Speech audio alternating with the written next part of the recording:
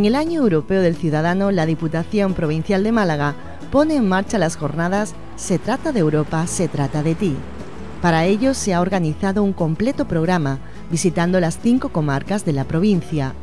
Mijas en la comarca Costa del Sol, Vélez Málaga en la Axarquía, Antequera en la comarca de Antequera, Igualeja en la Serranía de Ronda y Coín en el Guadalhorce.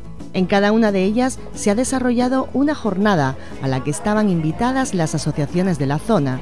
En toda la provincia, más de 2.000 colectivos para debatir sobre sus problemas y acercarse al ciudadano. Con el apoyo de los ayuntamientos y una importante afluencia de público, se han realizado estos encuentros donde las asociaciones tenían la palabra y la Diputación informaba sobre las distintas áreas de acción. Bueno, pues a mí me pareció una oportunidad estupenda para, primero para establecer eh, un canal de comunicación eh, directo con los colectivos de, la provincia. Asociaciones de todo tipo han visto en estos foros un lugar donde encontrar una respuesta a sus inquietudes, que la Diputación Provincial atiende a través de la ventanilla única.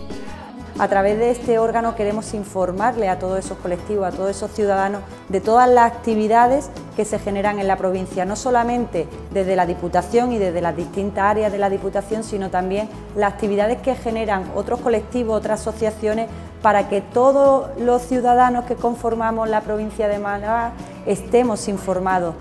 Los ayuntamientos han participado en esta iniciativa e igualmente han tomado buena nota de todas las necesidades de las asociaciones. Yo creo que ellos lo que necesitan sobre todo es atención y que se les escuche y ser escuchados, porque ellos tienen muchas necesidades. Eh, se está haciendo una apuesta en común de todos ellos y vemos que los problemas son problemas de subvenciones, problemas de dinamización de las propias asociaciones.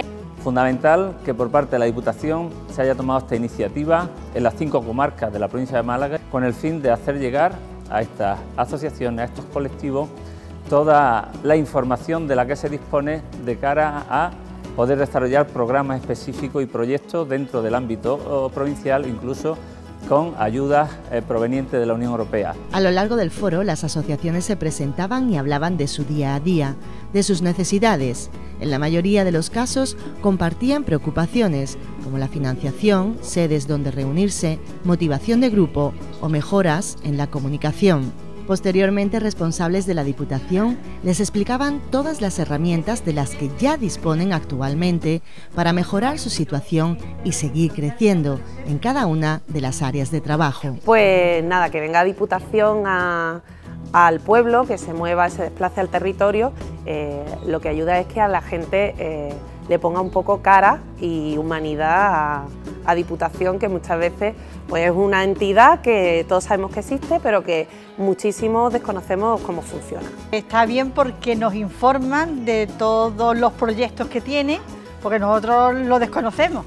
He querido felicitar porque la asociación nuestra estará desde el año 83 debidamente registrada y autorizada y es la primera vez que yo veo esta actividad. Por tanto, Felicidades a esta iniciativa y a todas las personas que hacéis posible que esto se realice. Y por último, la gestión del equipo, de trabajar el grupo.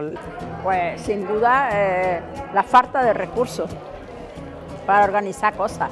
Las primeras preocupaciones sería de que hacía falta muchas reuniones como las que hemos tenido esta tarde, me comprende, y el contacto eh, de la administración con la asociación directamente los problemas de las asociaciones, pues el dinero es el principal.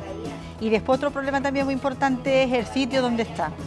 yo pienso que las asociaciones, independientemente de la labor que hacen en todos los ámbitos, y por supuesto en la cultural, se olvida, mm, independientemente de la información al ciudadano, eh, de la cantidad de dinero que también ahorra al ciudadano.